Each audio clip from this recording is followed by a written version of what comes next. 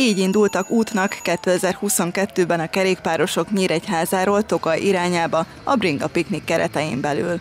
A rendezvényt 2018-ban szervezték meg először, amikor közel 1000 bringás vágott neki a közel 35 kilométeres távnak. Azóta pedig a Vármegye székhely nagy rendezvényévé nőtte ki magát. Ez azt is jelenti, hogy ennyire népszerű. Tavaly 1500 körüli e, csapat indult el innen Nyíregyházáról. Nem csak Nyíregyházak, ugye már bejönnek a, az agglomerációból, megyéből, Budapestről is lejönnek, és volt már Japánból is résztvevő, úgyhogy tényleg ez, egy, ez kinőtte magát ez a rendezvény és nagyon népszerű, remélem az időjárás most is jó lesz. A rajt idén a rendhagyó időpontban 9 óra 50 perckor lesz, ezzel is tisztelegve az idén 950 éves Tokaj előtt. A belvárosból rendőri felvezetéssel indulnak a kerékpárosok a várostábláig. Az első piknikpont, ahol frissítő gyümölcs és pogácsa várja a túrázókat, nyírteleknél lesz. Tisztában vagyunk azzal, hogy első pihenőpontként mi fogjuk a legnagyobb terhelést kapni, ennek következtében valóban egy piknik jellegét szeretnénk kialakítani ott a közösségi ház melletti térnek.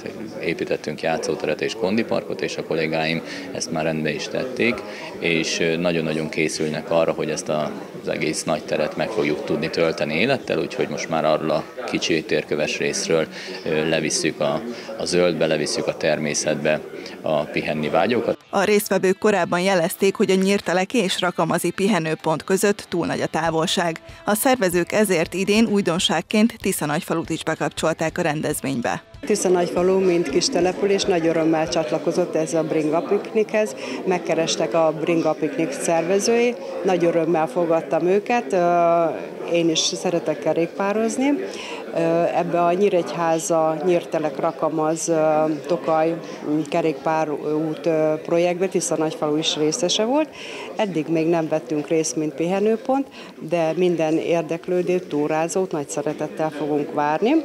A célállomás Tokajban a fesztivál katlan lesz, az idén 950 éves településen egyre népszerűbb a kerékpározás. A sport vagy hobbi célú tekeréshez pedig egyre komolyabb infrastruktúra áll rendelkezésre. Még tavaly évben a hittól, az Erzsébet Kernyi hídjától a fesztiválokat a városon keresztül kellett közlekedni. Most már ez a Bodrog partján egy kerékpárúton történhet, tehát biztonságos körülmények között tudnak eltekerni a fesztiválkatlanig, és hangsúlyoztam itt a sajtótájékoztatón, hogy a, a tokai kör, ami a tokai kopaszhegyet teszi majd lehetővé, hogy körbekerekezzük. Az utolsó szakasz az július végére el fog készülni. A célállomáson kap majd helyet a Bringárt névre keresztelt, már nem használt kerékpárokból felépített installáció, és kiegészítő programként itt rendezik meg a bringatusát is. Több korosztályt érint, előregisztráció szükséges a bringatusán a részvételhez, ez teljesen ingyenes a résztvevők számára, és az ebből befolyt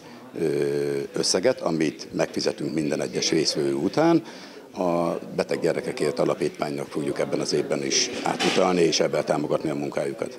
A Bringa piknik ideje alatt folyamatosan mozgó orvosi felügyelet Tokajban mentő biztosítja a balesetek szakszerű ellátását, a felmatricázott szervizbusz pedig a nem várt műszaki problémák megoldását.